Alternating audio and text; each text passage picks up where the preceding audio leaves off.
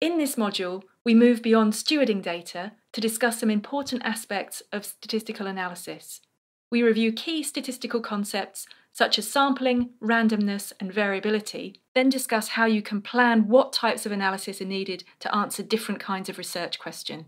We show results from common analyses, talk through how to interpret them, and how to use them to make substantiated statements about your populations of interest.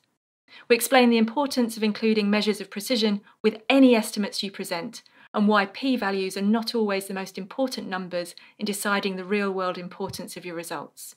Finally, we discuss the concept of statistical models and what sort of questions they can help to answer.